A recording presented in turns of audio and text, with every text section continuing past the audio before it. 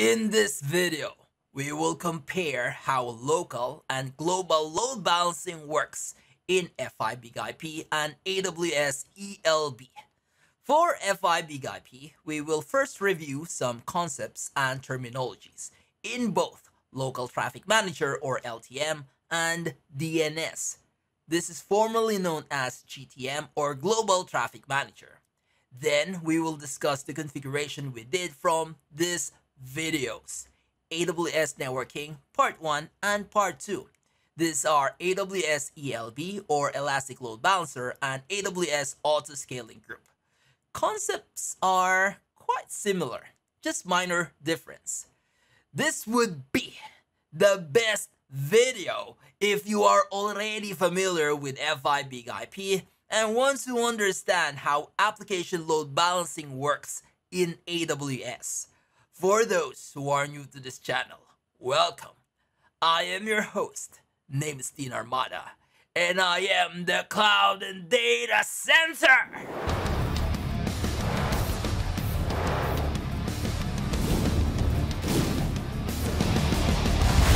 Rock Star!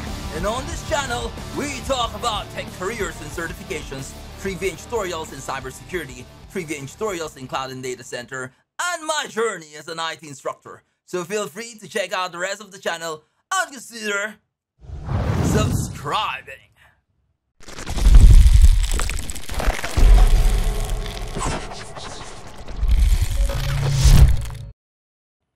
Let's have a little review on F5 Big IP with LTM or Local Traffic Manager, how it works.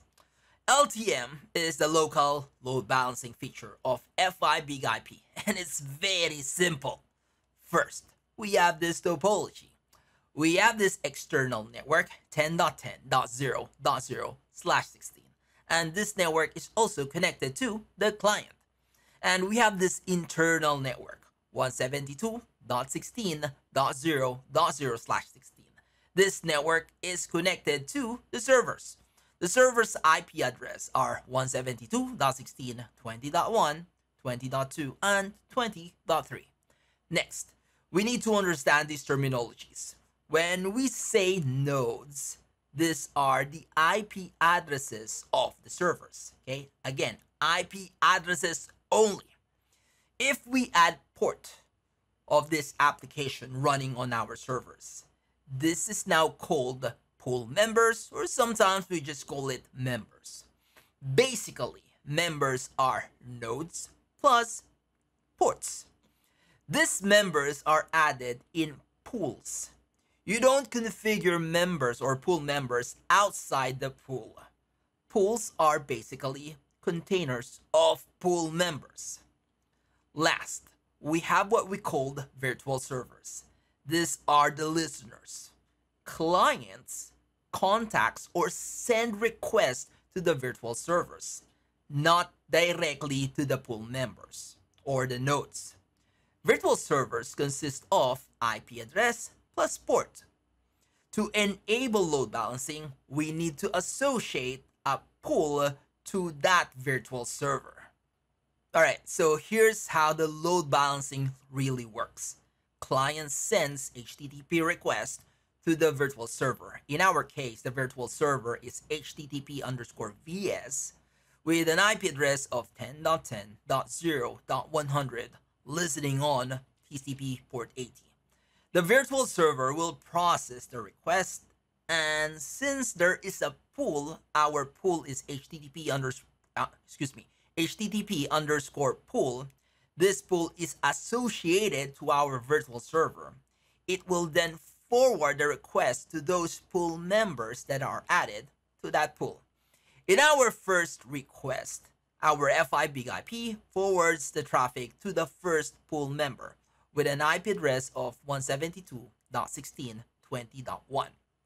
The first pool member will respond back to the big IP, and the big IP sends the response back to the client. Now, our second request to HTTP underscore VS well, same. We do the processing of the traffic. This is done by the virtual server. But now it forwards to the second pool member with an IP address of 172.16.20.2. There's various types of load balancing. Um, these are what we call load balancing method. But one of the most common load balancing method is round robin, where F5 Big IP distributes the requests evenly to all pool members. So that is the basic of F5 Big IP load balancing using LTM or local traffic manager. Now, let's talk about global load balancing with DNS or formerly known as GTM or Global Traffic Manager. We will skip the LDNS process as well as the query to the root name server. So this is the same query, but now it's sent to the Zurion.com name server. In this example, this name server is F5 Big IP DNS, and this responds with an A record for the destination Zurion.com. Now, the A record, this is the IP address. In this example, the IP address that will be responded to our client is 11.11.11.100. The big IP may send either 11.11.11.11.100 or it can also be 22.22.22.200 to the client. Um, the client, this is what made the request. Now, how do we know which IP address or a record that will send back to the client? Well, this depends on the global load balancing feature that is enabled. Again, there are also different load balancing methods.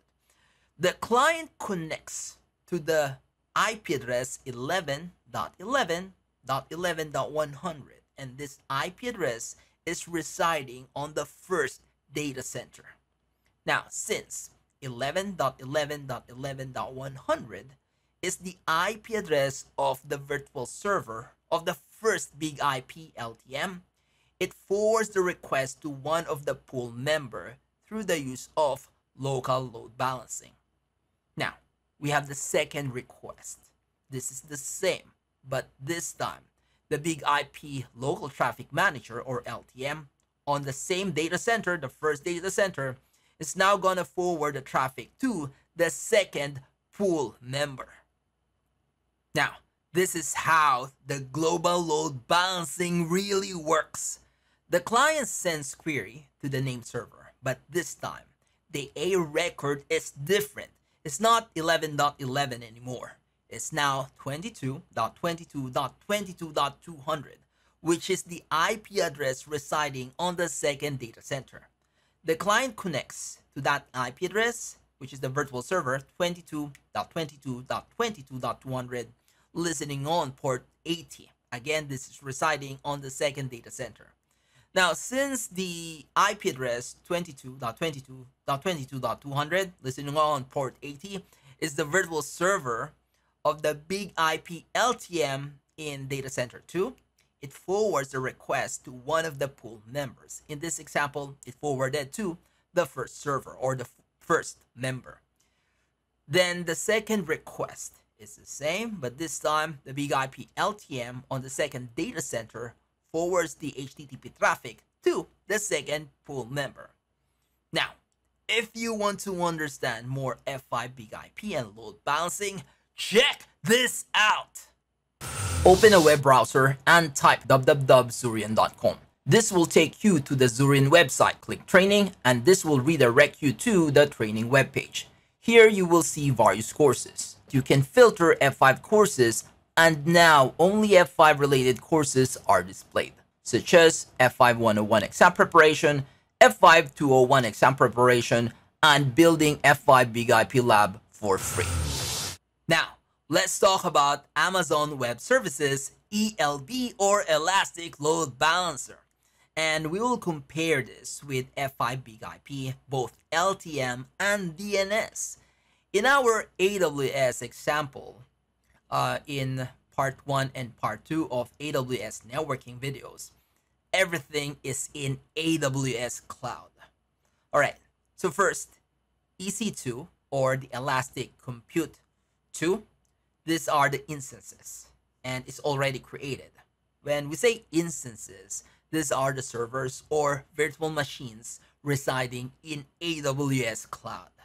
All right, so first thing we did is we created ALB or Application Load Balancer. This is also an ELB or Elastic Load Balancing because we have uh, three types. Okay, so Application Load Balancer, we name this Web App ELB. All right, so um, in our topology, that's our load balancer. Then we associated VPC or Virtual Private Cloud. We name our VPC Lab VPC with a CIDR of 10.0.0.0 slash 16. We also configure the mapping. Now the mapping, these are availability zones. In our example, we have two availability zones, or sometimes we call this AZ. So our first availability zone is US-West-2A. And it also have a public subnet 10.0.0.0 slash 24. Our second availability zone is named US West-2B. Also, there's a dedicated subnet 10.0.2.0 slash 24. Um, availability zone, for those who are not familiar, is a distinct location within an AWS region. And an availability zone may have one or more physical data centers. So just imagine we have two availability zone and these are two data centers in the same region. Okay. Uh, we also created what we call security group. Sometimes we call this SG. Now, security group um, is an ACL, but instance level. Okay, so this is a little different than NACL because the NACL is network level. Okay, now our SG or our security group, we name this load balancer dash SG. Now, when we created our load balancer SG or our security group, we just simply allowed all incoming HTTP traffic. Now, here is more interesting part of our configuration, the listener and routing. The listener is analogous to virtual server, but we don't define IP address. In F5 Big IP, the virtual server is IP address plus port. Okay, that is the listener. And then we do some configuration, um, including the association of pool. But again, the virtual server is IP address plus port. The listener here in our ELB is just the port. This is the internet facing port. The IP address and the domain name is automatically created for us, but we can change this later. Also under listener and routing, we added what we called target groups. We name our target group as lab-app-target-group. Now, target group is analogous to pools, where we define those target servers. Now, the target servers are called here in uh, our ELB, the target servers are called registered targets. And this is analogous to pool members. Okay, so here's the difference. In F5 Big IP, we just add an IP address plus port of the server. Okay, this is how we configure or we how we add the pool members and uh, this is under pool configuration. Here in AWS, we select an instance that is already provisioned. IP address are automatically assigned based on the public subnet in an availability zone. What we defined is are just ports. In this example, this instance or this target is listening on TCP port 80. Once the application load balancer has been created, it automatically creates a domain name. And this domain name is what our client sends HTTP request. The client contacts this domain name. And um, this domain name also listens to TCP port 80. This is defined in our listener configuration. Now the ELB process the request and forwards the traffic to that one target because we in this configuration, this topology, we only have one target. Now the target responds back and ELB responds to the client. The later part of our video, this is part 2, we enabled AWS Auto Scaling Group. This is when it automatically provisions new targets. And how did it happen? We use stress feature. And this is a stress test. The server will receive high load and this will trigger to scale, meaning it adds more registered targets. And this is based on the policy we configured. So we added three more servers in our target group. These registered targets are provisioned in two different availability zones. In our example, there are two targets in availability zone US-West-2A and another two targets to US West-2B. And all targets are listening to TCP port 80. When the client sends requests to our web application, the ELB will load balance to all four servers slash targets. And that target may be in the first available zone or that target may be also in the second available zone. In our testing from the web application, it identifies which availability zone is the target residing. And we saw it changing from the first availability zone to the second availability zone and vice versa. I hope you have learned something and had fun comparing F5 Big IP and AWS ELB or the Elastic Load Balancer. Let me know if this is something that you are interested in so I can create more cloud networking or AWS application load balancing related videos. If you are planning to switch from network engineer to cloud network engineer, I have this video ready for you. So, what do you think is better? F5 Big IP or AWS ELB?